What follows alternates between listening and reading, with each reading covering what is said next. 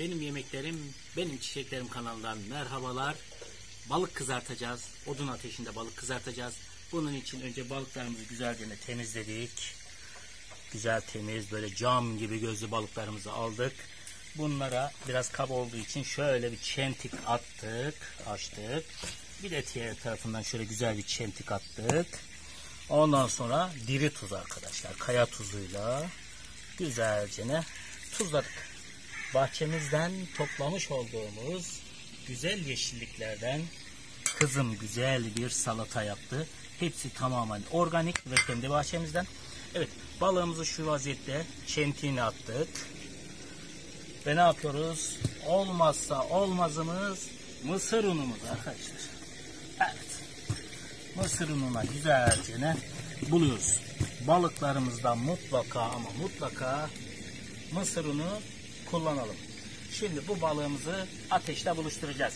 Hadi bakalım. Evet şimdi balıklarımızı yağla buluşturacağız. Ateşimiz mis gibi yanıyor. Sese bakın şimdi. Ah. Allah Allah.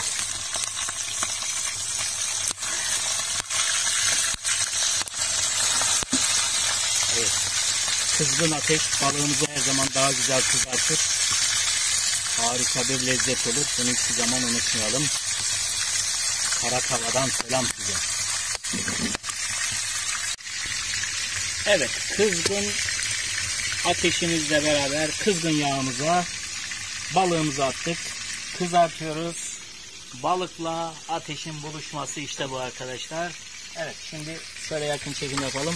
Sesi duyuyor muyuz? Oh, balıklar mis gibi kızarıyor. Evet biraz sonra çevirirken buluşacağız. Hadi bakalım. Evet balıklarımız mis gibi kızarıyor odun ateşinde. Evet şöyle çevirelim. Oh.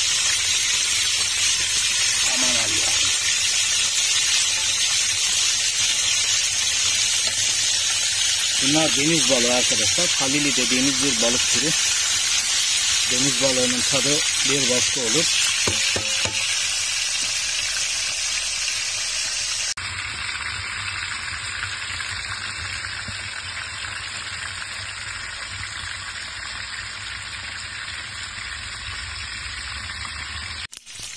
Evet balığımız kızardı. Şu güzelliğe bir bakın. Evet şimdi yeni balık atacağım. Evet balıklarımız mis gibi kızardı. Şimdi balıklarımızı çıkaralım.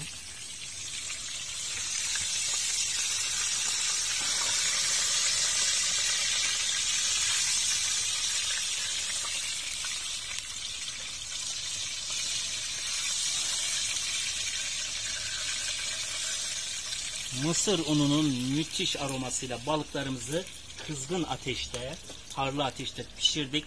Eğer balık kızartırken ateşimiz yavaş yanar ise kısık ateşte yaparsak balığımız yağ çeker. Güzel bir lezzet olmaz ama harlı ateşte yaparsak hemen dışı kızarır. içinin o müthiş yumuşaklığı kalır. Harika bir balık kızartması yaparız. Evet ne yapıyoruz? Bugünlük de bu kadar diyoruz. Benim yemeklerim, benim çiçeklerim kanalından hoşça kalın, dostça kalın, abone olmayı unutmayın.